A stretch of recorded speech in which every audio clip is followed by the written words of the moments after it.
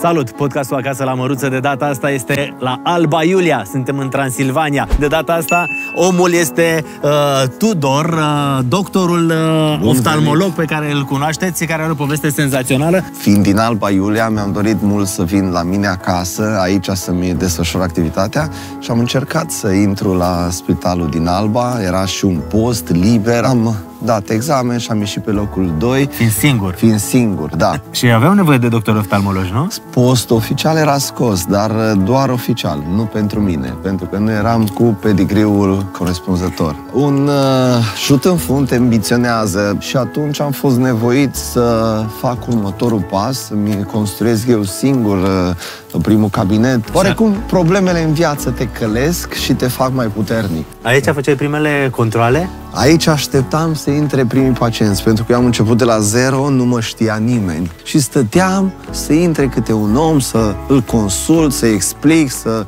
îi placă de mine. Primul tău loc de muncă, nu? Primul meu loc de muncă în Alba Iulia, acum Asta e de 13 suflet aici. ani. Mi-aduc aminte bine că eu m-am ocupat la primele uh, rafturi să le montez și să aranjez aici uh, personale. Tot de la Ikea cumpărate, tot din banii de nuntă? Da, da, da. Și așteptam pur și simplu, mă uitam pe geam să vedem dacă mai intră câte un pacient, să ne întrebe ce facem, de unde suntem, cu ce ne ocupăm. Și am înțeles că am și o căruță pe aici, dacă tot am ajuns la Alba, hai să găsesc și căruța. Da. Iată, ajungem la căruță, la măruță, nu înțeleg de ce, ce s-a întâmplat, s-a închis... uh, S-a închis căruța, deci singura care e închisă pe toată aleea asta e căruța mea, mă. Îl știi pe omul de aici? Îl știți? Coleg. Nu mă gândeam cum i-a pus numele, pe mine mă cheamă Măruță și l-a pus la Măruță. Pe el tot măruță. Asta e, domne, gata, s-a lămurit. Haide că am prins uh, vreme frumoasă și în uh, Sibiu. Da, e o vorbă că la omul bun uh, și soarele răsare. Sibiu, am ajuns uh, destul de, de repede de la Alba Iulia. Acum intrăm, stăm de povești uh, și vedem cum stau lucrurile. Să rămână, să rămână. Avem Aici e sala- sala de operație? Sala de operație. Vă Putem să așteptăm băgăm în un bloc ochi așa? operator. Aici sunt operațiile de cristalin, de cataractă, de retină. Cabinetul cu aparatură mai avansată.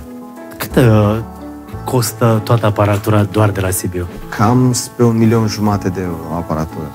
Un banal consult ne spune dacă suntem bine cu ochii sau nu. Poate avem tensiune la ochi și nu simțim nimica, poate avem vase de sânge sparte la retină și nu simțim încă nimica. Da, te pot afecta mai târziu. Da, da. Un banal consult odată, cu... poate avem nevoie de ochelari și ne forțăm ochii și nu știm. Fiți atenți. Cât poate să fie omul ăsta de bun? Podcastul cu cel mai multe vizualizări în 2022. Acest podcast cu tine E, e senzațional. La podcastul Acasă la Măruț. știi ce zic?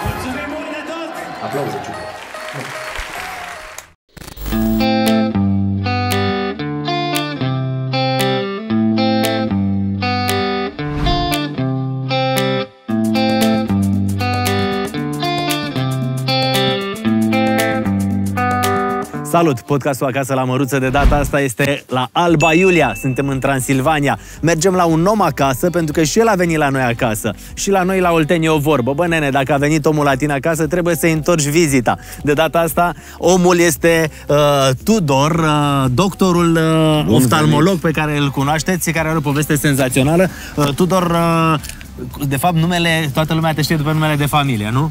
Teodor, da? Teodor, Tudor Teodor. îți zic prietenie Da, și Teodor. toată lumea știe doar numele de familie care de fapt numele... Holhoș. Holhoș, da, numele de familie a devenit brandul spitalelor și lucrurilor pe care le faci. Așa e, mă reprezintă, munca pe care o fac mă reprezintă și atunci pacientul să știe că eu pun mâna și îl ajut la vedere. Ideea e în felul următor, oameni buni. Omul ăsta, mai bine, acum mai bine de 10 ani, a venit la Spitalul Județean din Alba, unde suntem și noi aici, să dea concurs. Cum a fost povestea Tudor? Pentru că e o poveste care sper că pe cei de acasă, pe cei care urmăresc podcastul, să-i motiveze. Pentru că dacă te dă cineva afară, tu poți să reușești. Dacă cineva îți spune nu ești bun și tu crezi în tine, poți să reușești. Dacă cineva îți spune, știi ce, n-ai nicio șansă, tu poți să le dovedești că faci un spital care să arate mai performant decât spitalul de stat de unde te-au dat afară. Da, e o poveste interesantă. Fiind medic și fiind din Alba Iulia, mi-am dorit mult să vin la mine acasă, aici să-mi desfășor activitatea și am încercat să intru la spitalul din Alba. Era și un post liber, am fost fericit. Uite, chiar s-au sincronizat astrele și am dat examen și am ieșit pe locul 2. Fiind singur. Fiind singur, da. Am fost și eu surprins, greu am înțeles lucrurile. Pentru mine a fost un șut în fund la figurat. Veneai de la Cluj, tu ai terminat facultatea la Cluj. Da, și Ai am terminat medicina la Cluj? Medicina, rezidențiatul, 5 ani de specialitate în oftalmologie și dând același examen care l-am dat în Cluj, în Alba nu am fost uh, bun. Dar cum adică n-ai- nu era altcineva la concursul ăla și tu ai ieșit pe locul 2? Și- Și mie mi-e greu să Adică înțeleg. ți-au spus bună ziua, n-ați fost admis? Da, n-ați fost admis, n-ați trecut examenul. Și aveau nevoie de doctor oftalmolog, nu? Post oficial era scos, dar uh, doar oficial, nu pentru mine, pentru că nu eram cu pedigriul corespunzător. Ei bine, plecăm din locul ăsta, de aici, din uh, Alba. Uh, cred că e și locul care te-a ambiționat.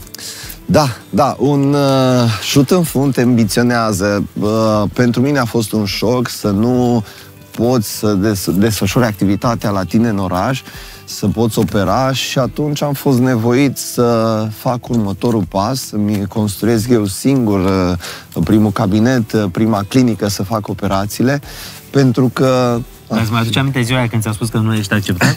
Prima dată uh, m-am întâlnit cu un reprezentant din comisie în curtea spitalului și mi-a zis că nu am trecut proba, pur și simplu am râs. Am zis așa, no, N-are ok, cum, dom'le. n-are cum. Dom'le, așa, totuși am luat ok. la Cluj, s-a terminat rezidențiatul, eu Da. știu ce fac. Prima dată am crezut că e o glumă și când am mers și nu, totuși era serios, am- chiar n-am știut cum să o iau. Deci nu, nu știi cum. Uite, aici suntem uh, la Spitalul Județean, care în ultimii 10 ani s-a renovat. Nu în totalitate cei drept, a mai rămas o bucățică acolo, e foarte interesant. Cred că așa au vrut artistic, de fapt, să-l facă. Să rămână o amintire vremurilor de trecut. Așa era, nu? Așa era, așa Dar era. nu înțeleg, adică cum poți să renovezi tot spitalul și să rămână uh, bucățica aia mică. Dar așa arăta acolo Așa spitalul. era a, și încă în multe secții în interior încă mai e așa vechi, dar uh, uh, pentru Alba Iulieni e păcat, pentru că se poate face mai mult, se poate face la un nivel uh, european și noi am arătat că se poate. Am construit un spital de la zero, dotat cu absolut tot ce trebuie, cu oxigen, cu centru de tratare a aerului, centrală de tratare a O aerului. să ajungem să vedem uh, și în uh, zilele următoare, că stăm pe aici, pe la Alba, mergem și pe la Cluj, ajungem și pe la Târgu Mureș și în Sibiu. De ce? Pentru că odată ce a fost dat afară, adică de, după ce n-a primit locul, a zis, ok, bine, hai de tu să mă extind. Ok, o să fac și în Alba, și în Cluj, și în Media, și în Turda, și în Sibiu, peste tot, nu?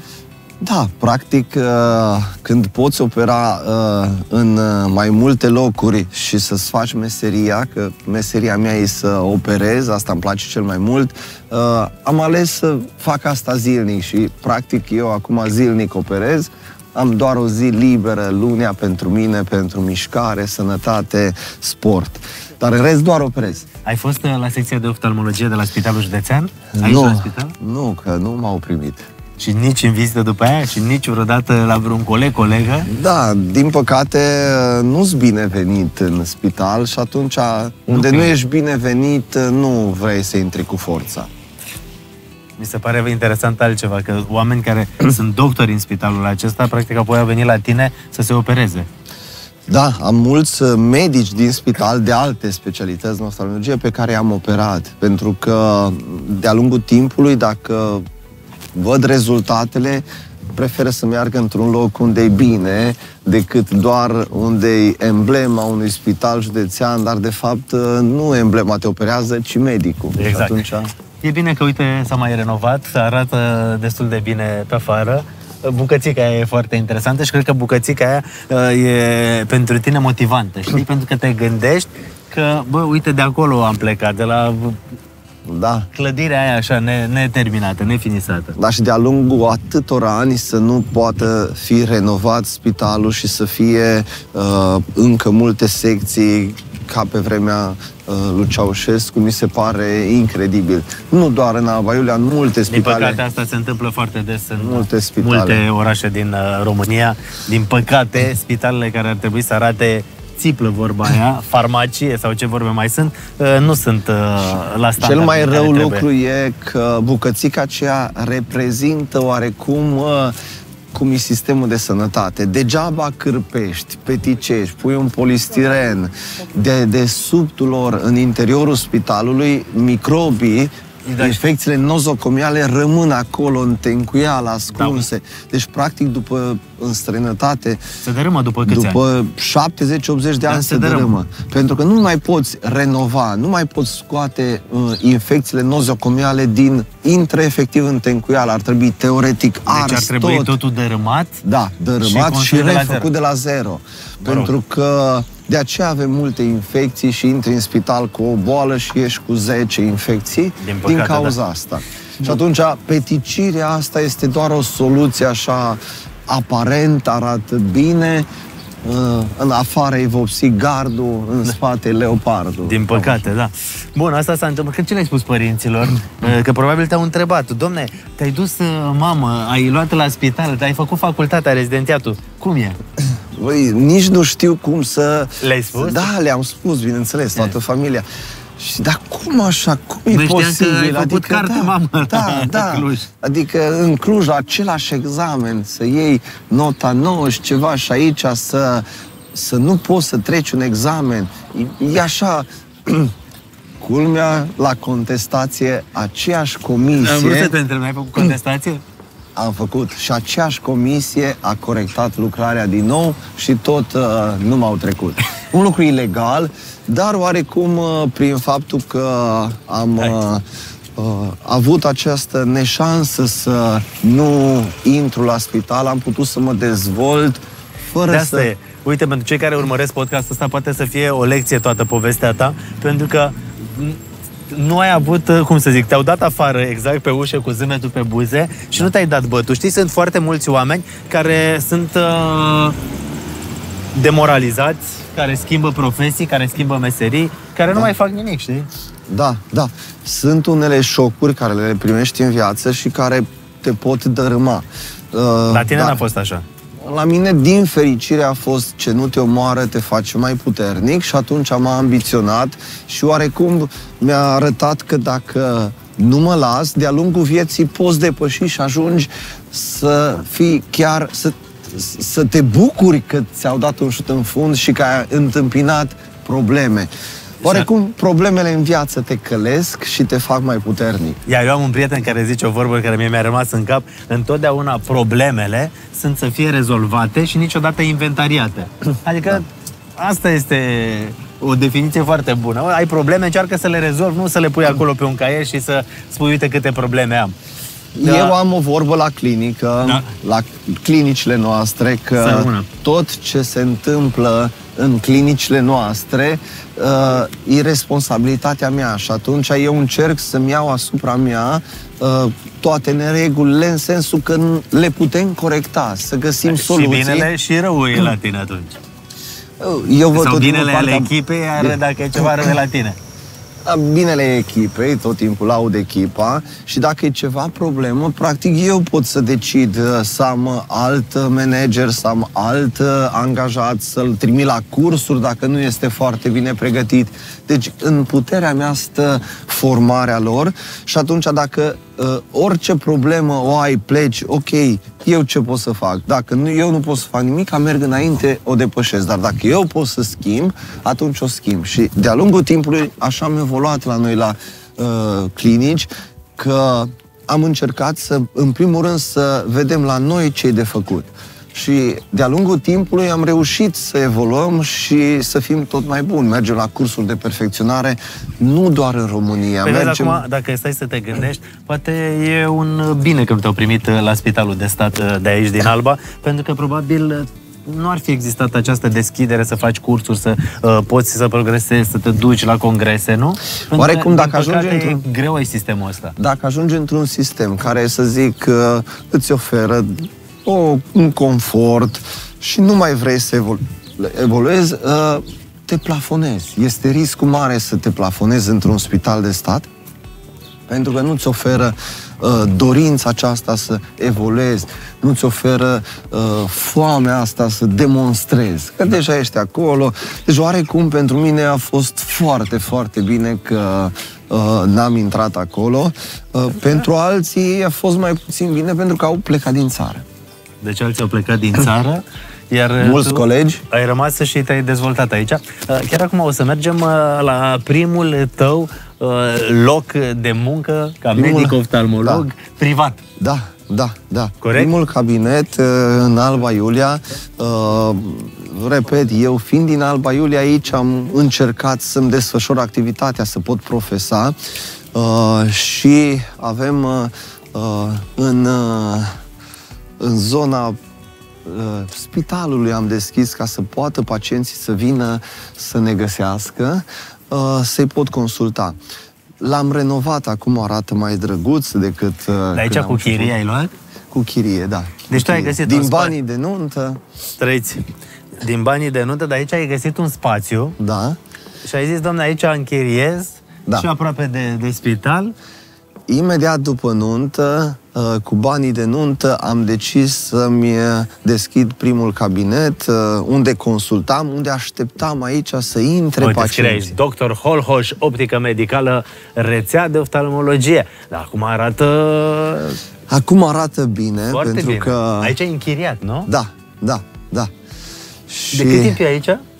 De 13 ani. Aici făceai primele controle? Aici așteptam să intre primii pacienți, pentru că eu am început de la zero, nu mă știa nimeni. Și trebuia să conving de la primul pacient, de la al doilea, de la al zecelea, la, am, de la zero am pornit. Și stăteam să intre câte un om, să îl consult, să explic, să îi placă de mine, Și să nu vină. venea și spunea, da, da, da, de ce nu sunteți? Sunteți și la spital acolo sau nu aveai chestii de astea? Uh, da, aveai tot timpul, pentru Haideți, că... domn doctor, nu sunteți la spital acolo? Adică aveai Cum oameni și atunci- răutăcioși care ziceau, e, Da, Sunt de toate felurile. Oamenii doar că și atunci încrederea în spitalele de stat, ca și acum, nu e foarte mare. Pentru că acolo sunt încă multe neajunsuri, sunt și medici foarte buni, dar sunt multe neajunsuri. Eu în Cluj, țin minte în rezidențiat, trebuia să-mi cumpăr hârtie să putem scoate biletele de ieșire din spital. Câteodată nu aveam mănuși chirurgicale, nu puteam opera. Deci din păcate, se întâmplă lucrurile astea și acum. Da, da, la spitalele de stat câteodată apar aici discrepanțe de neexplicat. Uite, vezi, acum, dacă erai acolo, uh, Tudor, dacă erai la spital, n-aveai, uh, cum să zicem, afișul tău. Da, da, acum în- parcă nu-mi vine să cred că eu sunt acolo. E interesant așa să te privești tu pe tine din exterior, fiind foarte ocupat cu munca anii ăștia. Niciodată n-am avut timp să mă uit invers cum, oare cum mă percepe lumea. Eram doar să-mi fac treaba și acum că ați venit la noi în Alba, vă mulțumesc și vă invit să facem un Intrăm tur. imediat, dar știi cum e? Noi ne uităm aici și vedem un doctor care are succes, care a reușit, care uh, are peste 4.000 de pacienți de operație pe an, știi? Și lumea vede doar succesul, dar tu, de fapt, vezi și neajunsurile astea. Hârtia, lipsă, Da, greutățile, nopțile pierdute. Da, la început, uh, în Alba Iulia, când operam, uh, munceam cam 16 ore pe zi. Lucram și sâmbătă, practic sâmbătă operam și duminica dimineața îmi vedeam pacienții operați. Aveam cam o jumătate de zi liberă, duminica după masa, în rest era muncă, muncă, muncă, pentru că la început trebuie să muncești foarte mult ca să consulți foarte mult, ca pacienții să fie mulțumiți, o parte din ei aveau încredere să opereze, cu timpul lucrurile s-au inversat. Acum operez mai mult și consult mult mai puțin. Iar aici era mai mult centru de consultație, Consultație. acum a devenit uh, optică medicală, Optică nu? medicală, consultăm Și aici, consultații. da, pentru ochelari. Uh, Intrăm, nu? Hai să vedem. Primul tău loc de muncă, nu? Primul meu loc de muncă în Alba Iulia Acum Asta e de 13 suflet aici. ani. Da. Adică e de suflet aici, nici nu... Uh, chiar dacă o să construiești spitalul sau alte clinici, aici tot nu vrei. E blocul tău, e prima... Unde ai început? Casa, Da. Asta e casa părintească a ta, nu? Casa părintească, am uh, îmbunătățit-o, am modernizat-o. Uh, Aici și avem montaj de ochelari, suntem uh, cu lucrurile avansate. Pe, sunt pacienți care, uh, ca și tine, le place cu ochelari. Le stă bine și atunci avem și pentru ei soluția aceasta. Uh, Nu încercăm să-i convingem pe toți să se opereze. Cine dorește ochelari sau lentile, le avem pentru opțiunile fiecăruia. Bună! Bună, Ce faci, Cristina? foarte bine. Tu ai avut ochelari și te-ai operat, așa Da. simt eu. Da, așa este. Așa este, nu? Poate o să ne povestești în uh, zilele, în episodul următor, că o să facem uh, mai multe filmări aici, cum ai scăpat tu de ochelari. Și cum, de fapt, Cristina este una dintre primele angajate, nu? Chiar prima angajată, cu ea am început aici activitatea pe, pe bulevard, acum 13 ani. 13 ani pentru noi ca și rețea e cu noroc și pentru Cristina încă e alături de noi și deja face lucruri mult mai avansate. Face pregătirile, investigațiile, măsurăturile pentru operațiile Smile Pro și chiar ea a beneficiat de această operație în șapte secunde, a avut încredere în mine, nu doar ca și angajată, ci și ca Acum, pacientă. cred că a așteptat și momentul ăla să-și dea seama că, bă, stai un pic, că nu m-am supărat cu doctorul, e în neregulă, că poate îl prind nervos acolo, supărat. Da, și a ales o zi când am fost Ca o calm. zi când a fost zen, când a fost totul bine. Îți mai aduce aminte cum era organizat totul înainte? Da, mi-aduc aminte bine că eu m-am ocupat la primele uh, rafturi să le montez și să aranjez aici uh, personale. Tot de la Ikea cumpărate, tot din banii de nuntă? Da, da, da, da. Așa am început, nu aveam bani să facem mobilă după uh, model uh, customizată. Uh, la început așa am fost. Erau brațe, bețe din astea clasice de ochelari, le-am prins eu în... în Și aici și consultai, nu? Aici și consultam, în acest cabinet uh, uh, consultam și așteptam pur și simplu, mă uitam pe geam să vedem dacă mai intră câte un pacient, să ne întrebe ce facem, de unde suntem, cu ce ne ocupăm. Așteptam, în prima lună, cred că am avut vreo 15 oameni care ne-au trecut pragul și am consultat. Dar știi ce vreau să te întreb? La spital acolo nu te-au acceptat, apoi ai făcut clinica aici. De ce nu ai încercat la alt spital sau asta? De unde, de unde ai avut curajul ăsta să începi privat? Uh, am zis că dacă în Alba Iulia, de unde sunt, unde e locul natal, nu am șanse, unde cât de cât oarecum cunoști lumea, nu ești bine primit, ce șanse să am în Cluj? În Cluj nici nu se punea problema, uh, știam din start că acolo locurile sunt vorbite cu ani mulți înainte. Atunci ai încercat la privat. Am Te-ai zis pe încercat la- propriile tale picio- Da. picioare și pe propriile tale uh, resurse. Mai ții Da. de că era prima chirie acum 13 ani? Uh, 700 de euro, cred. Eram 700 de euro acum 13 ani? Da, da, da. Foarte mult, nu? Foarte mult, foarte mult, pentru Era că... spațiu comercial, vrei să fii în... uh, Păi, trebuie să fii vizibil pentru că altfel dacă lumea nu știe de tine, uh, nici măcar nu-ți calcă pragul, nu poți să uh, ai șansa să-i demonstrezi că ești bun. E ca în, uh, acum cu uh, operațiile, dacă pacienții nu ar ști că sunt operațiile sigure, nici nu ar avea curiozitatea să citească, să se informeze și să vină să, măcar la un consult, La să tine. se convingă. Cred că e și bucuria aia când vezi că vin pacienți uh, și din alte zone ale României, nu numai din Transilvania.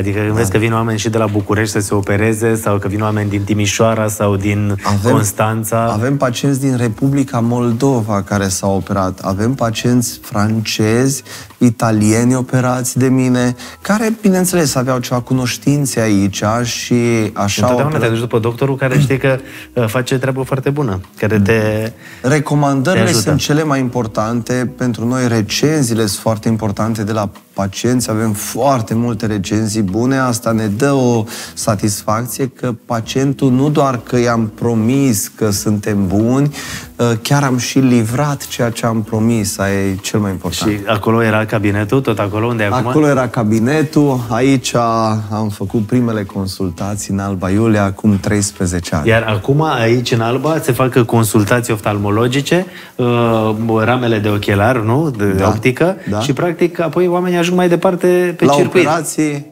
Uh, și aici o avem uh, pe Georgiana, care practic ea s-a întors uh, în țară după ce fusese plecată ceva timp în Spania și acum lucrez cu doctorul, cu Tudor. Da. Cum îi zici, Tudor? Da. Ok. Și uh, spuneai că este unul dintre oamenii tăi de bază. Uh, E chiar omul meu cel mai de bază, este pe lângă asistenta ge- uh, generală, asistenta șefă, este și manager general, pentru că ea se ocupă de partea organizatorică. Mie nu-mi place partea aceasta organizatorică, să faci program la angajați, la medici, care, când să consulte. Nici nu prea știu care din colegii mei unde consultă, în ce zi. Și de asta te ocupi tu? Da, aproximativ în fiecare zi. Ceea ce nu e ușor, pentru că acum sunteți câți în echipă Tudor? 100 de angajați și 11 medici. Deci e o echipă destul de mare. Da, și în șase clinici să gestioneze activitatea și tot timpul mai apar mici probleme. Și încă în 13 cabinete de consultații, 13 optici, deja suntem uh, destul de mari și câteodată oprim de și ora 10 seara lucrând sau și sâmbătă și duminica. E mult uh, și acum încercăm să mai formăm și alți oameni pentru că uh, na, e, le face foarte Dar bine. cum ai găsit-o pe Georgiana sau cum v-ați găsit? Ne-a găsit ea pe noi. M-am Da? angajat eu, da. La fel, tu ai ai aflat că aveai treabă cu nu, eram în domeniul anunț în ăsta? ziar când am venit. Tot în ziar? Știi că și Cristina la fel a găsit anunț da, în ziar. da, tot în ziar, da. Și am mers la interviu, nu aveam neapărat intenția să rămân în România. Pentru că Da, stătusei am destul de rămas. mult în Spania, nu? Da, 13 ani. 13 ani în Spania, erai în România și ce scria în anunțul respectiv? Sincer, chiar nu știu că nu eu l-am găsit. Și m-am dus, mi s-a părut un pic diferit față de ce credeam că e în România. Și mi s-a părut interesant, să zic. La început a fost mai greu. Și acum e greu, dar la început a fost mai greu. Pentru că mi-era greu și cu limba, și cu oamenii. Totul era diferit în România față de Spania, să zic așa. Vorbesc repede, dar atunci vorbeam și mai repede și lumea zicea mai zi o dată. Și nu știam dacă e pentru că vorbesc repede sau pentru că nu vorbesc corect. Era diferit față de uh, Spania, România e diferită, încă mai avem de recuperat și, și câteodată e greu la servici. Eu sunt, uh, chiar dacă așa bă, sunt tip care îmi place să zâmbesc, să glumesc, îs vesel, la servici de multe ori zic că sunt dictator, adică trebuie lucrurile făcute extrem de bine, nu negociem în sala de operație nimic, aveam ședințe câteodată la 10 seara, dacă lucrurile nu sunt cum vreau eu să dețin controlul, dar 100%, mă transform în sala de operație. Acolo trebuie să fie uh, La ca la atelierul armată. tău acolo, e locul tău de creație, practic. Acolo, dacă greșești odată, e suficient. Acolo nu-i voie să greșești nici un mic lucru și de aceea de multe ori la noi, de exemplu, când pregătim cristaline pentru pacient sau ceva, am trei fete care verifică același lucru și se semnează și dacă găsesc o greșeală la prima, o găsit o a doua fată, deja e o problemă, dar trei fete să facă aceeași greșeală e mai greu. Deci tot timpul cu verificare, cu uh, Cred că- repetare, cu... Pentru că aici, exact cum spuneai tu, greșești odată de două ori, uh, ți se duce vorba și Renumere. tot ce e construit în toți anii ăștia se Da. dărâmă foarte ușor. Deci uh, s- sunt total diferit, uh, oarecum mă transform acolo și câteodată sunt greu de suportat ca și șef. Tu poți doar să apropi, e ok, așa, Georgiana. Tu poți să dai din cap să da, Da, da, da. e ok. Dar mie mi se pare că, de fapt, asta este uh, cheia unui uh, proiect de succes. Cineva să fie într-un fel, cineva altfel și să se completeze ca un puzzle toate poveștile. Georgiana, te mai gândești acum să mai pleci în Spania? Nu mai. Mai ai nu mai momente? gândesc, da, mai am momente, da. Mai- Familia da. mea e acolo și atunci oricum merg în fiecare an. Și de fiecare când mă duc, mă iau așa sentimentele alea de, "Ai, ce bine e acasă. Da, na, nu cred că mă mai întorc. Nu, da, Atâta da. timp când mă duc în fiecare an și mi-au doza mea de energie, nu mă întorc. Și nu, oricum trebuie să se termine și spitalul ăla, trebuie să aibă grijă și cineva și acolo. Da. Uh, Tudor, uh, fiind uh, zi de weekend uh, și uh, pentru că în weekend uh, petreci și cu familia, uh, spuneai că trebuie să te întâlnești cu fetele? Da. Mă duc cu E fetele. ziua de mers cu bicicletele? Mers cu bicicletele, facem turul cetății, mergem uh, uh, la o clătită în oraș, mergem la o plimbare cu fetițele cu bicicletele. Mai uite-te un pic la Marinaru, colegul nostru când ai zis de clătită. Păi, nu ție, nu o să mergem cu bicicleta, dar o clătită o să-ți luăm. Păi, mergem, hai să le cunoaștem și pe, pe fete și în și același mergem timp- la căruță, la măruță. Asta Da, zic da. și eu, bă, să aflu și eu care e treaba cu asta. Știi că multă lume zice că, bă, e căruța ta, n-am nicio treabă, dar chiar vreau să mă să întreb pe omul ăla, bă, nene, care e treaba, mă, cum ți-a venit ideea asta? Și să scoată buletinul să-i că uite, pe și mine mă cheamă Măruța. Perfect. Mergem acolo, haideți să le vedem uh, și pe fete și îți mulțumim mult de tot, Georgiana. Știm că nu-ți place să apari Da. uh, și că îți place să stai mai mereu mai în spate așa, dar îți mulțumim mult de tot. Și eu am zis. Perfect. Hai să mergem. Mergem și la clătită, marinarule. Ce zici? Da. da. Accepti? Da. Cu ce să fie? Cu vișine. Cu vișine. Perfect. o clătită cu de toate.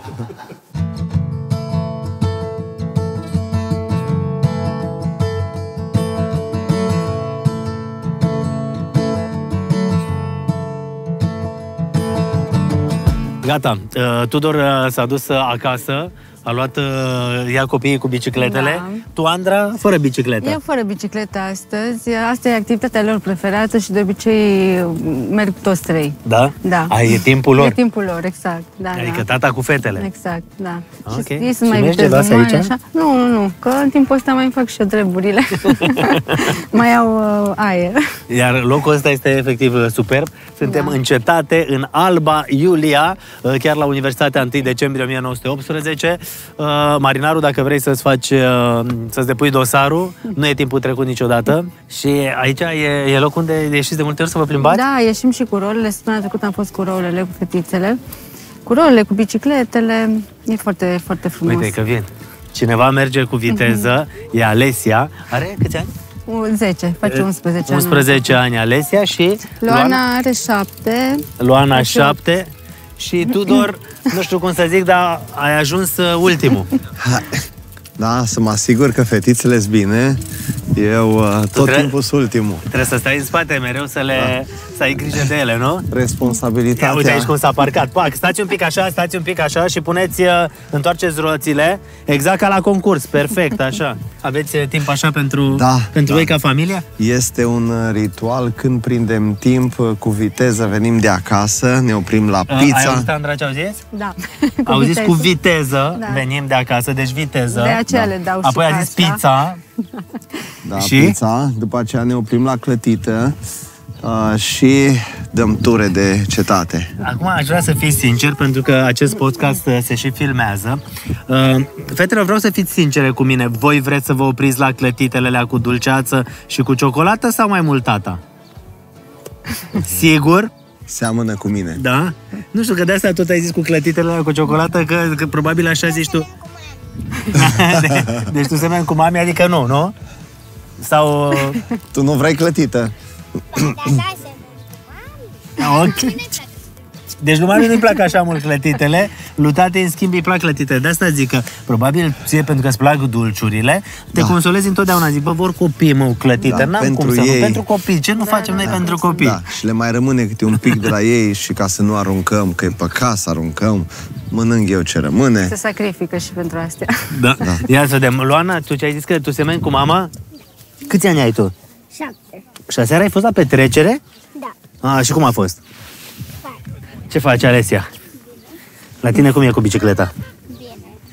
Vreau să fii sinceră cu mine, spune câte clătite mănâncă tata cel mai mult. Mm, Păi depinde, când e foarte foame, ar mânca și 10. Și 10 clătite.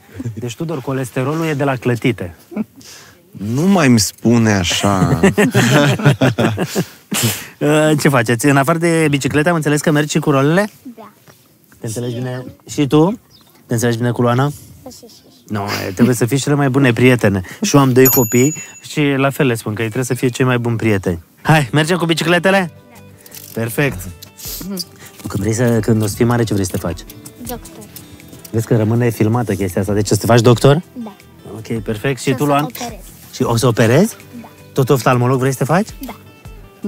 Deci știi cum e, ce vede acasă, aia vrea să, Da. să facă, adică ți aude vorbind acasă. Tu, Luana, ce vrei să faci? Eu cam. Da? Adică tu să conduci, uh, păi până la urmă cred că ea va fi șefa. Ba nu, pentru că, într-un fel, și mami și tati. Pentru că tati operează și mami... Coordonează. Da. Coordonează. Mă, eu glumesc cu voi și mă bucur mult de tot, sunteți foarte simpatice. Hai să mergem spre clătitele alea. Și am înțeles că am și o căruță pe aici, dacă tot am ajuns la Alba, hai să găsesc și căruța. E tare asta cu căruța, primesc foarte multe poze de fiecare dată de la oameni care vin în Alba și îmi trimit poze și zic, uite bă, la căruță, la măruță. Da. Eu n-am avut nicio treabă cu căruța asta. Da, da, da, Da. dar e de foarte mult timp aici. Da, e de ceva timp. Poate fi deschisă, mă duc să zic, domne, de unde e domne căruța asta, domne? Sigur e deschisă. Tot timpul e deschisă. Ți-ar plăcea fetele să, să facă medicină? Mi-ar plăcea pentru că știu că le-ar fi mai ușor decât uh, i-a fost lui Tudor, dar nu ține neapărat. Luana e mai mult partea asta umană. Da. Seamănă cu mine și Alicia e mai rațională. Ei plac lucruri așa bine puse la punct. Da. Iată, ajungem la căruța, la măruță. Nu înțeleg de ce, ce s-a întâmplat. S-a închis, uh, s-a închis căruța. Deci singura care e închisă pe toată aleea asta e căruța mea, mă.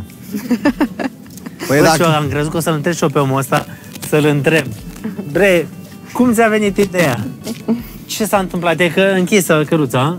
păi dacă tu filmezi podcasturi, cine să stea Ai la- dreptate, dacă sunt la filmare nu pot să mă împart așa cu, uh, cu timpul. Îl știi pe omul de aici? Îl știți? Coleg. Nu mă gândeam cum i-a pus numele. Pe mine mă cheamă Măruță și l-a pus la Măruță. el tot măruță. Asta e, domne, gata, s-a l-a murit. A- Radu Măruță îl cheamă și pe el. Radu Măruță? Radu Măruță. Am înțeles. Și unde e?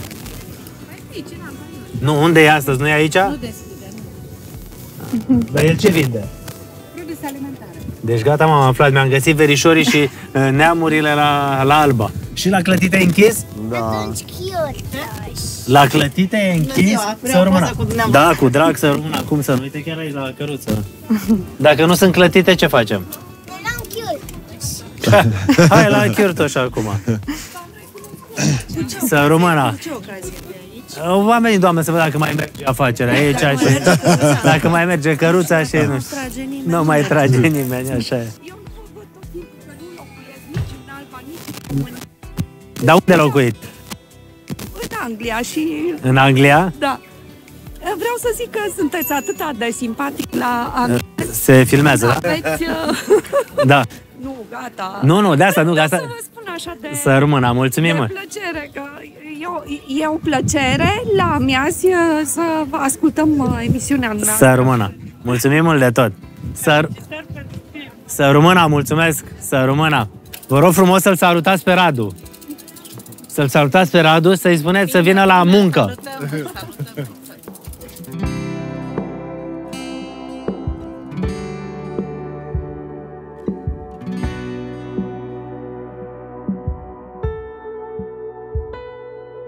Ne-am plimbat uh, prin uh, cetate, am uh, băut o cafea, am mâncat un uh, chiurtoș, nu? Perfect, iar acum vrem să vedem de fapt în familia asta cum stau lucrurile și copiii cum fiind sunt cei mai sinceri, ei o să și fie cei care o să mă ajute, da? Să vedem cum e Tudor, cum e Andra. A, Uite cum facem, fii atentă. Deci exact ca pe TikTok, vino Luana mai lângă mine, vino și tu aici, Alesia, și facem în felul următor. Vă pun o întrebare și voi arătați cu degetul la cine se potrivește, da? Adică începem? Uite, pe principiu, cine doarme cel mai mult? Pet! Câștigător... Uh... A, Păi normal, vezi, la câte trezești tu, doctor? Șase jumate. Șase jumate, acum nici el n-are de lucru la șase jumate dimineața, nu? Bun, perfect, hai să mergem mai departe. Uh, Cine mănâncă mai mult, de exemplu? Dar vezi că voi puteți să arătați și diferit dacă vreți, știi? Adică nu trebuie amândouă la fel. Cum simt credeți voi? Deci tu doar mănâncă mai mult, nu? ok, perfect. Cam ăsta este jocul, gata, începem? Da. Perfect, eu am câteva întrebări aici și vedem uh, 100% cum stau lucrurile în familia voastră, bine? Cine e mai talentat la muzică? Sigur? Da. Da? Cine e mai amuzant? Ok, se împarte 1-1, hai să vedem. Cine gătește mai bine? Cine e mai sportiv? Dar fii atentă, Luana, dacă tu nu ești de acord, trebuie să arăți și altfel. Deci chiar e sportiv? Chiar e sportiv. Bine, hai să vedem mai departe. Asta e tare de tot. Cine vă ajută mai mult la teme? Ok, Tudor. Știu, ai spus norocul tău. Știi că uh, el a și spus, uh, Tudor Andra, ceva mai devreme în uh, filmări, uh, că ea are noroc cu tine, că poate să fie liniștit acolo, că tu te ocupi de tot ce trebuie. Da, de școală, da. Bun. Cine vă ceartă mai des? Normal. Normal, cine face teme și ceartă mai des. Uh, cine se supără mai repede dintre mami și tati? Arătați repede, fiecare ce credeți. Hai, de nu vă uitați una la alta. Tu ce zici, Luana? Zi, zi repede. Hai. Hai, zi, nu deci, ți-e frică. tata se, e mai supărăcios? Așa, așa simți tu că e mai supărăcios, nu? Mm, ok, perfect. Să mergem mai departe. Uh, cine cântă prin casă? Nimeni? Cum? Uite, mamă.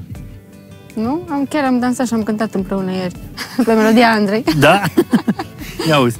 Uh, bun, uh, hai să vedem uh, mai departe. Uh, cine vă cumpără mai multe haine? Deci, mamă, mi se pare că sunt părțite lucrurile așa foarte clare. Adică... Organizat. Organizarea e și acasă. Da. Da, știi ce vreau eu să, să vă mai întreb uh, pe voi? Că tu spui că vrei să te faci, uh, când o să fii mare, tot doctor, nu? Da. Dar știi că e o școală, că hai de mai aproape de mine ca să ne auzim aici la microfon. Știi că e mai greu, că e o școală grea? Da. Și îți place chestia asta? Bravo, mă. Bun, Luana, tu mergi la balet? Dar la dansuri? Da. Și îți place? Da. Mm, foarte frumos. Cred că astea sunt zilele alea tale când uh, știi că te gândești în felul următor. Dacă te duci și vezi așa un doctor toată ziua ce face, operează, uh, stres, stă în spital, uh, dar în același timp cred că asta de aici ți reîncarci bateriile. Cu familia, nu? Da. Weekendurile nu le muncesc, sunt numai pentru familie, activități. Da, așa a fost sportive. întotdeauna? Așa a fost întotdeauna, da. Acum și lunia e liberă. Fetele mele sunt sportive, la patinoar, la, La bazin. bazin, la schi. Acum, săptămâna viitoare, mergem la, la La dansuri. dansuri. Tu ești cu dansul, hai seara, Volei, nu? da. Dar știi ce, mie îmi place foarte tare chestia asta, că uh, ț- sâmbătă și duminica e pentru familie.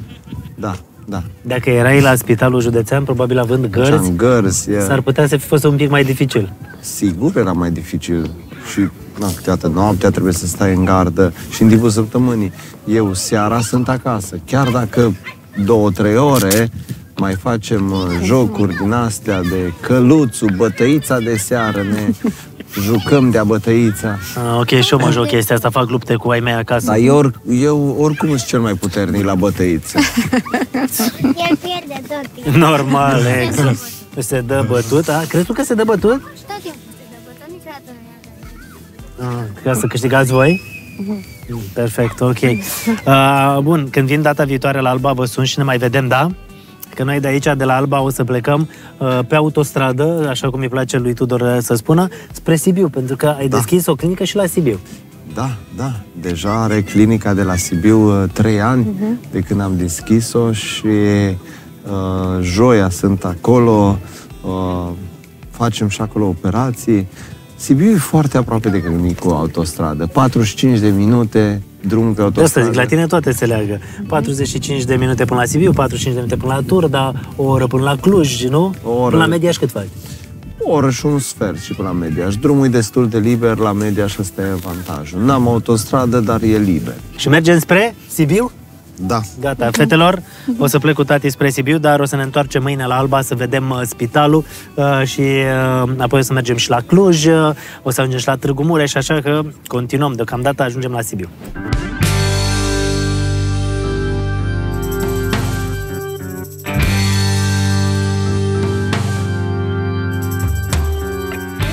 Haide că am prins uh, vreme frumoasă și în uh, Sibiu. Da, e o vorbă că la omul bun uh, și soarele răsare. Sper că de asta a venit soarele la noi. Al, al, câta, al câtelea centru e aici în Sibiu? Este a Că în total patra, sunt șase. este a patra clinică deschisă în urmă cu trei ani. Recent am făcut aniversarea de trei ani. Uh, Aici am început prima dată operațiile Smile, uh, iar apoi uh, uh, am trecut la a doua generație la operațiile Smile Pro, care sunt de patru ori mai rapide. Uite, deci practic centrul e aproape de stadion. Da, da. Stadionul municipal uh, Sibiu. În uh, zona asta este și uh, centru. Uite, doctor Holhoș, rețeaua de oftalmologie, de data asta în Sibiu și ne întâlnim uh, acum și cu doamna doctor și din Sibiu, că în fiecare clinică, de fapt, sunt doctori. Da, cu colega mea Flavia Vonica, care lucrează în Sibiu și a cărei părinți i-am operat uh, de cristalin la amândoi ochi și au scăpat de ochelari. Sibiu, am ajuns uh, destul de, de repede de la Alba Iulia. Acum intrăm, stăm de povești și vedem cum stau lucrurile. Să rămână, să rămână. O doamnă cu ochelari de soare. Hai, gata. Sibiu, domnul președinte, pe unde stă? Nu, cred că îl găsim acasă, dar e, nu-i prin zonă pe aici? Dăm un telefon. Acum să-l sunăm. Haide să, să mergem, intrăm uh, și cu dreptul. Deci, dar nu înțeleg. De ce n-ai voie, de exemplu, cu cățel? E... Protejăm pacienții și atunci, dacă e risc de infecție, preferăm să le ținem. Și cu telefon, gata, lăsăm Da. telefoanele la intrare. Asta cred că sunt pentru Să operații, vor- nu? Da, da, da. Perfect. Să rămână. Gata, am găsit-o și pe Flavia. Să rămână Flavia, ce Bună faci? ziua! Bine! Bună ziua, am venit pentru o programare. Știți ceva de doctorul Tudor, de fapt Teodor, prietenii zic Tudor Holhoș? Domnul doctor este doar chirurg în sala de operații. Am înțeles, în sala de operație să-l căutăm, da? Să rămână Flavia, Bună îmi ziua. pare bine. Ne-a zis mie. uh, domnul doctor multe despre tine. Tu ești doctor uh, la bază. Da, medic. Medic Da. și medic uh, ai avut încredere și ai- l-ai operat pe tata? Da, și pe mama acum 2 ani, dar pe tata acum mai uh, recent. Foarte tare. Flavia este medic oftalmolog, adică consultă pacienții și nu doar că îi consultă, deja îi și operează. Foarte frumos. Întotdeauna mi-a plăcut chestia asta, când poți să crești în jurul tău și alți oameni, știi? Da? Pentru da. că la un moment dat... uh, Echipa face foarte mult. Bravo, Flavia. E tata aici? Cum uh, te vede după ce s-a operat? Cu alți ochi? Uh, Cu aceiași ochi, dar mult mai bine. Da, hai să stai, stai, stai să vorbim cu tata, că tot a venit aici. Tata, ce face Bună, tata? să vă salut. Să trăiești, ce faceți? Viețuiește. Trecut de amiază, dar viețuiește. Și cum sunteți Și, acum? uh, Ce să vă spun? uh, Operația, sigur, îți aduce o îmbunătățire a calității vieții. Evident, am scăpat de maldărul de ochelari, de pe masă, de la calculator, de Adică aveați unii de aproape, unii de departe, unii care... intermediari, exact. Și, bineînțeles, Cum le-ați zis la astea? de Șanțuri? forșanțuri de ochelari. Deci după 45 de ani... Tatăl Flaviei, fiind Inevitabil. inginer, vorbește un pic altfel la povestea asta. Bineînțeles, mă gândeam că o să apară suferință sau uh, așa mai departe, dar vă spun sincer, uh, mi-a plăcut în primul rând fluxul. Adică nu stai de la unul la alta. Deci, Deci tot omul treci fiind exact prin inginer a postul văzut de- exact cum trebuie, ia să vede, merge treaba cum merge sau... Și n-am suferit absolut nicio traumă. Absolut nicio traumă. Dom'le, dacă poți să-ți uh, schimbi stilul de viață și să-ți crească calitatea vieții, de ce să nu faci treaba asta? E foarte important. Adică foarte, dacă foarte, mie- Deci foarte important. Oricum. Pentru ce ai viața asta? Să După trăiești 40 bine, de sănătos, ani, să fii bine, Să, să- te simți bine, să apelezi la tot ce îți- îți oferă viața, nu? Că Da, corect. Asta e. Sistemul ăsta vizual uh, te lasă, este printre primele care te lasă, nu? Și atunci trebuie să corectezi cumva. Cu ochelarul este o soluție, după părerea mea, dar acum, dacă ar fi să-mi pun ochelari, vă spun sincer. Nu v-ați mai, nu v-ați mai pune. nu, e, te simți și când privești în spațiu, te simți după cortină. Domnul doctor, cred că e satisfacție mare asta, știi, când, uh, E o satisfacție când vezi că enormă. oamenii spun, domnule, s-a schimbat calitatea vieții. Mie asta îmi place mult. Da, e o Serios. satisfacție O să enormă vezi. și o responsabilitate mare. Acum, colega mea o înțelege că operează și ea. Uh, Avem o satisfacție noi ca și chirurgi foarte mare, dar și o responsabilitate. Când vine un pacient care înțelege, inginer activ și vrea să vadă bine, să poată să-și desfășoare activitățile, să nu fie probleme, și presiunea oarecum e mare că trebuie să facem ce am promis. Uh, Din fericire, tehnologia ne ajută, experiența deja ne ajută și uh, aceste operații chiar sunt foarte, foarte ușoare. Și sunt uh, și uh, săli de operație aici, Tudor, Da, nu? da. Și consult și săli de operație. E aici l-am și operat. Aici la... Și-a plecat apoi acasă, direct. Bineînțeles, adică ce... Aici Avem e sala de operație? Sala de operație. Vă Putem să așteptăm băgăm în un bloc ochi așa? operator. Da, puteți face vizită. Flavia, după tine, că eu suntem într-un fel de la tine acasă, Flavia. Haideți să Așa. vedem, nu? Da. Deci sunt operațiile de cristalin, de cataractă, de retină, laserul. Uh, Deci poți la- să faci practic aceleași lucruri pe care le faci și la, la, La Alba, toate și la clinicile, Cluj, și da. la Târgu Mureș. Da, uh, urmează să primim uh, aparatul uh, Smile Pro Vizumax 800 într-o lună, pentru că l-am dat cel vechi, modelul vechi de Smile și acum vom avea în Sibiu Smile Pro. Și o să fiți primii care aveți asta din Sibiu, nu? Da, primii și La- singurii. Uh, E de patru ori mai rapid uh, și în secundele acelea e important că pacientul, dacă cumva mișca, aparatul se oprea și nu ne lasă să mergem mai departe. Deci un pic pacientul trebuie să colaboreze în secundele acelea, deși aparatul ține ochiul, ventuzează și și dacă miști, Doamne ferește, nu se întâmplă nimic, doar că se oprește și nu ne lasă să mergem mai departe. Deci Ca să nu secundele fie vreo greșeală. contează pentru că trebuie să fie ochiul ventuzat nemișcat și fiind de patru ori mai rapid, e de patru ori mai sigur. Tu cum te-ai angajat, Flavia? Că tu prima dată n-ai lucrat la Sibiu. Că clin- Dacă lucrezi de șase ani și aici clinica e de vreo trei ani, clar ai lucrat în altă parte, nu? Am lucrat întâi la media și ne-am cunoscut la un uh, congres, de Da. fapt, cu domnul doctor și uh, urma să deschidă clinica de la Mediaș.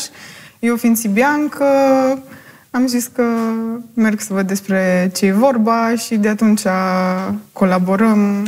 Acum full-time și la Sibiu și am rămas un pic și la Mediaș. Consultă gratuit pacienții care vin cu bilet de trimitere de la medicul de familie. Încercăm să Ați ne auzit adresăm din Sibiu, dacă se aude. Deci gratuit consultul oftalmologic cu bilet de la trimitere. toate clinicile avem La toate consult clinicile? gratuit cu bilet de trimitere de la medicul de familie ca să ne adresăm și pacienților care vor să beneficieze de gratuitatea Deci stai un pic, adică dacă pacienții se uită acum și sunt așa din Târgu Mureș, Alba, Media și Sibiu, uh, să nu-mi zici, Târgu Mureș și Cluj, șase, deci ți-am zis că învăț bine. Deci dacă vreți un consult gratuit, doar la medicul de familie trebuie să sunați să vă dea o rețetă și pot să vină oamenii gratuit la consult? Da, da, da. Foarte tare, super, bravo. Și pot să vină și copiii. Și Am înțeles că e copiii. foarte important până în șapte ani să vină copiii pentru a vedea dacă au privirea leneșă sau nu. Da, ochiul leneș. Flavia se ocupă și de copii, are specializare și în oftalmopediatrie, avem și aparatură pentru dezambliopizare, acoperim toată paleta. Astea sunt... Uh... Dulapule de la Ikea, dar nu le-am mai montat eu deja. Asta, deja, Asta, deja asta e. m-am, uh, Asta e, am trecut la alt nivel. Puteți să mă primii bani de nuntă, deci primii bani de nuntă, prin banii de la nuntă, pac, investiți în uh, dulapuri. După dumneavoastră. Aici e chiar aparatul de copii, dacă vreți. Aparatul de dezambliopizare cu exerciții. Dar aparatul de cum? Dezambliopizare. Acesta e Stai să cunosc. un uh, Dezamblobli... Încă o dată. Deci aparatul de... dezambliopizare. Ia zi pozaj. Dezamolozi. Ok? Mai cer o dată, zic reblă? Dezablizare. Ok, zi... Mai... Dezablizare. Ok, dezolă. Deci cum e tot, doar? Dezambliopizare. De la ambliopie, ochiul leneș, medical. Și atunci, uh, la acest uh, ecran cu ochelari 3D, copilașii practic se joacă, dar își folosesc ochii cu principiul de la televizorul 3D. Și sunt niște exerciții speciale și stimulează vederea. Dar Aici vin și fac antrenamente, nu? Da, dar până la șapte ani nu mai putem să-i... Și uh, chiar dacă vede bine copilul, poți să-l aduci să facă antrenamente la ochi? Nu mai e cazul neapărat de antrenament, dar poți să-l aduci să se joace la noi în clinică, dacă vrei, așa. Hai să mergem mai departe. Uh, voi, Flavia, unde vezi cafea? Adică nu, nu se stă la cafea aici, nu? Nu prea. Nu se stă la cafea. Aici Ia, avem uh, un cabinet de optometrie și avem și uh, Da. laserul acesta. Ce face laserul ăsta? Îl uh, folosim pentru trei uh, chestii, și anume pentru cataracta secundară. Toată lumea care trece prin operația de implant de cristalin uh, face ceea ce se numește popular cataractă secundară, practic săculețul de unde scoatem cristalinul și care folosește pe post de suport pentru cristalinul artificial, face și el cataracta lui la un moment dat, îmbătrânește și el. Și atunci, cu ajutorul acestui laser, noi uh, curățăm zona aceea și uh, redăm uh, claritatea vederii. Adică e un fel de casco al uh, cristalinului. Da, da, da. Păi câteva secunde, uh, laserul nu e operație și uh, practic apare o mică ceață și aceea se curăță, dar odată curățată e pe viață. Dar știi ce vreau să te întreb? Tu când ai făcut uh, facultatea și când erai la specializare la oftalmologie, visai la genul ăsta de aparate? Vă gândeați că o să existe? Uh, Bine ai zis, visam doar, nu aveam voie să le utilizăm. Dar existau și atunci? Unele modele mai vechi existau și atunci, dar nu erau disponibile medicului rezident. Erau sub cheie, nu ne lăsa să facem laser, nu ne lăsa să facem angiofluorografie, nu exista tomograf uh, OCT în clinică universitară în Cluj. Erau foarte multe lipsuri și puținele aparate care existau erau sub cheie. Numai medicul, unul din clinică avea voie să le utilizeze, că... Da. Și, practic, din păcate, uh, colegii tineri nu prea unde să învețe, nici măcar aparatele să le folosească, ce să mai zicem de operații. Nu li se dă șansa să opereze. Și e foarte greu să ajungi să le înveți. Practic, din păcate, trebuie să fii autodidact toată viața. Deci acest aparat, eu doar după ce am fost specialist, l-am cumpărat, m-am dus la instruire, am învățat și am știut să-l folosesc. Da, sunt unele cazuri uh, de pacienți cu diabet care au uh, retinopatie diabetică, practic niște modificări retiniene foarte mari, apărute în general în urma unui diabet necontrolat, pe care noi încercăm să le stopăm uh, făcând această procedură pentru a nu ajunge la complicații și mai mari. Asta cu diabetul, uh, am văzut o statistică că sunt undeva aproape la, se ajunge la aproape 2 milioane de români care au diabet. Sedentarismul, stilul de viață, ne merge prea bine, din păcate. Diabetul este o boală A binelui. a binelui.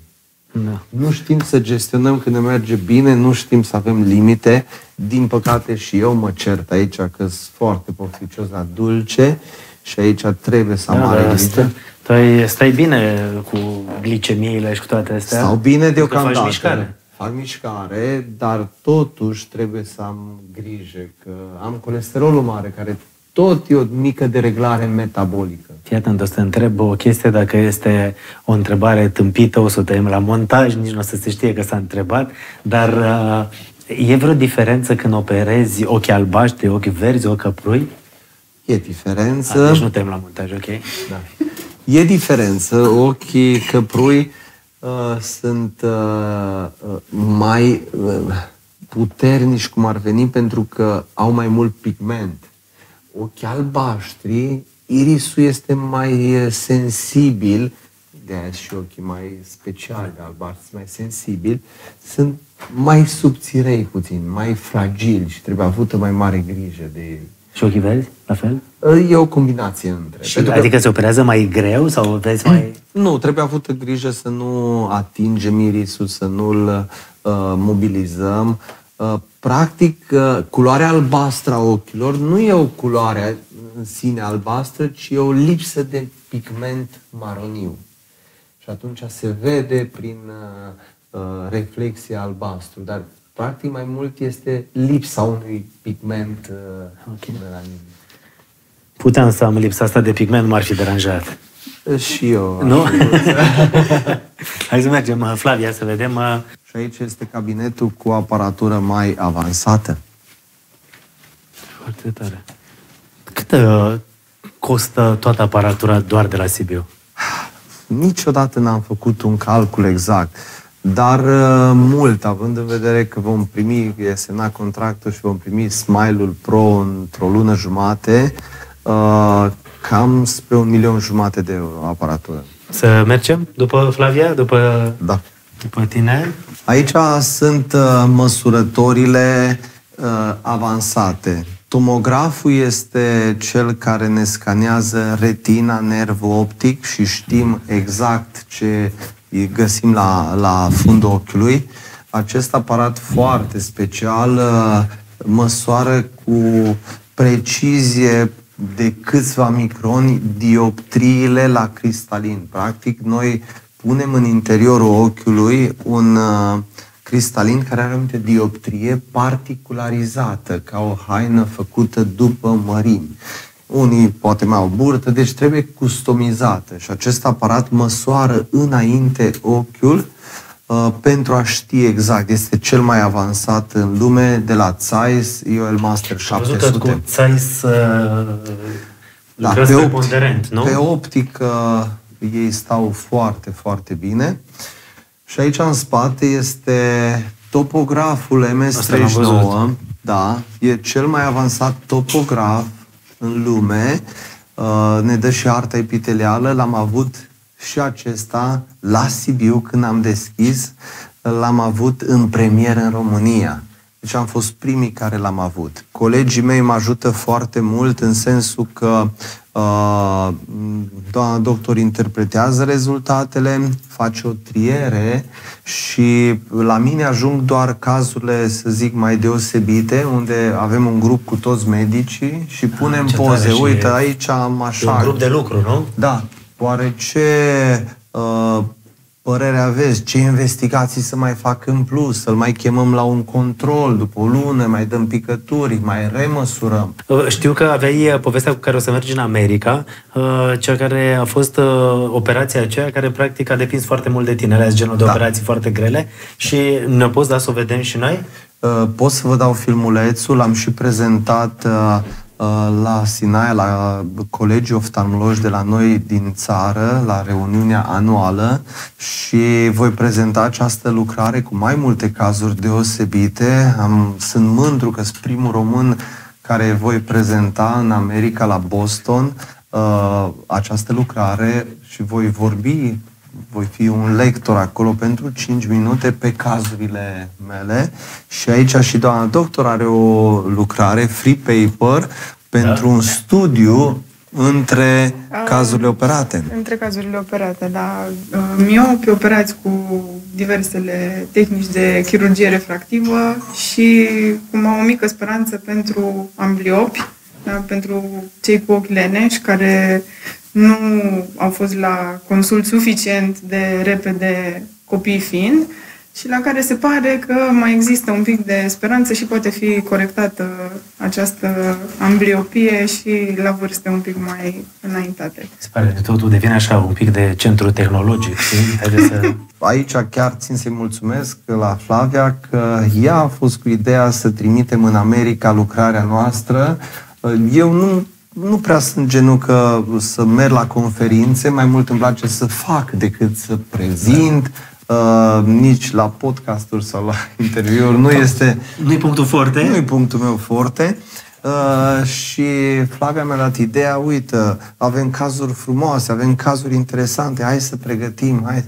Zic că, păi da, dar acolo mergem să învățăm, nu avem timp să mergem să și prezentăm după aceea, să și învățăm.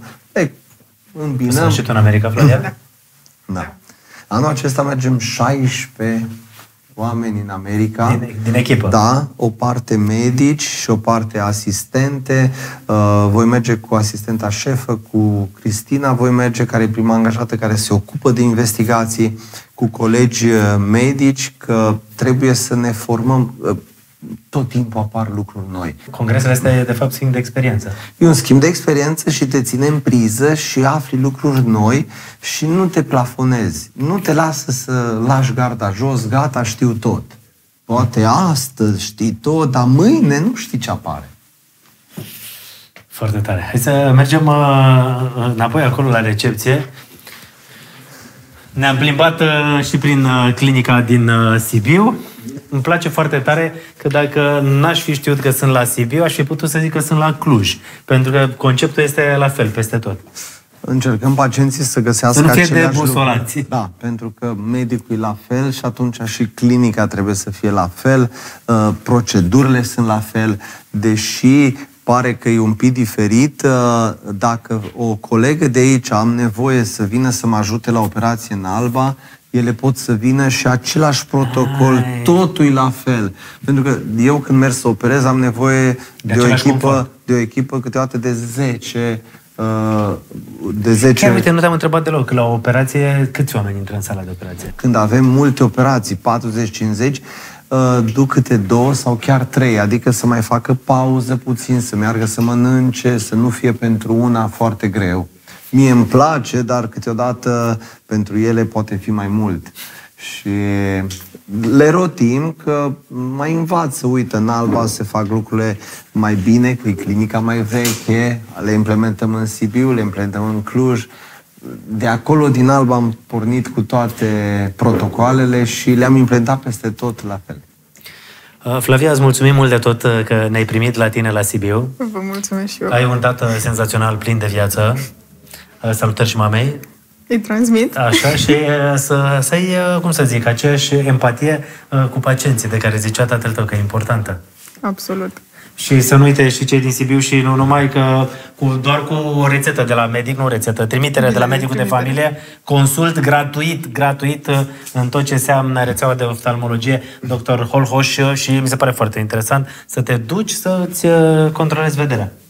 E obligatoriu pentru toți Băi, pacienții. nene, Odată faceți pe asta, an. faceți asta că nu costă deci nimic, chiar Nimic, nu costă nimic. nimic.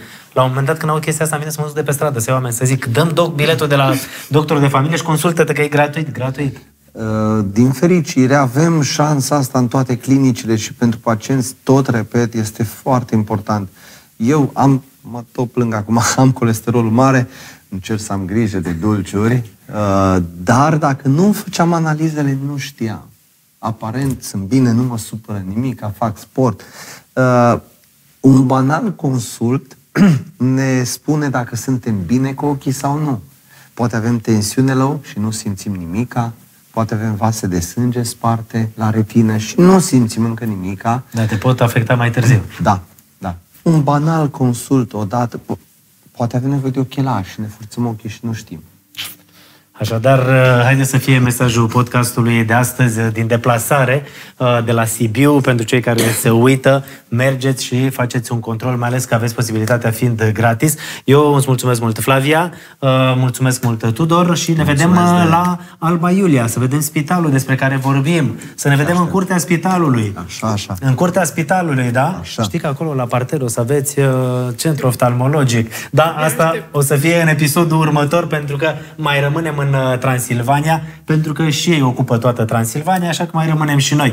Mâine suntem în Alba și apoi o să plecăm și la Cluj. Doctore, îți mulțumim mult de tot și Noi vă continuăm mulțumim. povestea, da? Vă așteptăm. Continuăm, da? Da. Perfect. Mergem peste tot. Flavia, toate cele bune, iar voi nu uitați să lăsați un mesaj, un comentariu și dacă vedeți să aflați mai multe despre uh, clinicile unde puteți să faceți aceste consulturi uh, gratuite, găsiți în descrierea podcastului. Mulțumim mult de tot, aveți grijă de voi și să ne vedeți cu ochii buni. Mulțumim. Mai bine.